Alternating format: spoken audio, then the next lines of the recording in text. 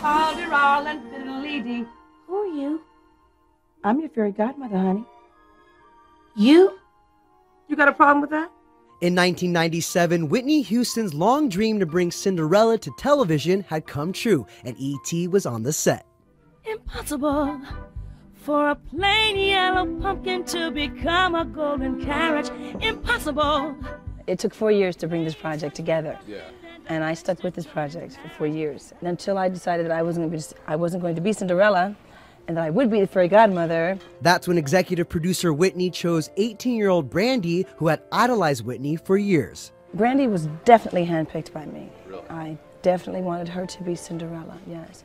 This is my dream and it's come true. I finally get to work with Whitney. Impossible. Impossible. Impossible. At 33, Whitney chose to be the fairy godmother, a role that took less time to film. I knew there was someone who was a lot more full of energy for that kind of stuff yeah. than I was. I mean, I'm, I'm, a little jaded on the energy level. Like, you running low?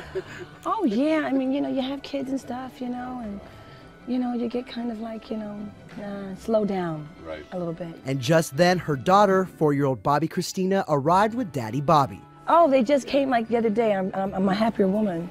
I miss them very, very much. Isn't she something? She's growing up on me. It's for reasons like that that um, this is existing. But the world is full of zanies and fools. I wanted every child to see it. You know, I wanted parents to see it. It was the original Rodgers and Hammerstein version of Cinderella. The songs performed exactly as first done in 1957. What are you? You don't want me Please do that. that. I, I, that's so dope. Please. That's so nice. That Whitney and Brandy were practically attached at the hip in the recording studio for the TV movie. Impossible. That was great.